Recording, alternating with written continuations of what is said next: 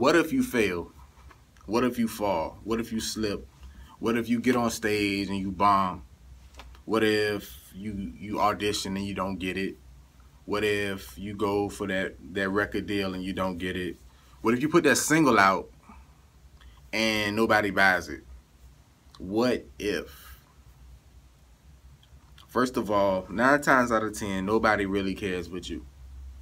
Okay? Second of all, let me tell you this one thing. You'll never forget it.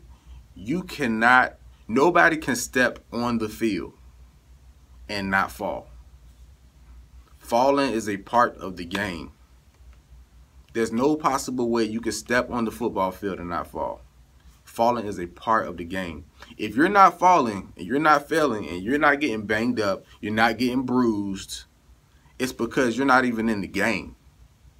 That only means you're in the game. So all you do is you get back up and you get set for the next play. You get set for your next move. You get set and you make it happen again. I don't care if you fall as soon as you get set. You get up again you get set for the next play. This part of the game.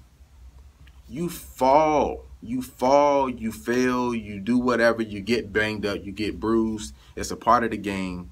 And you cannot, you, no one can win the Super Bowl without falling 150 million times on the way to the Super Bowl.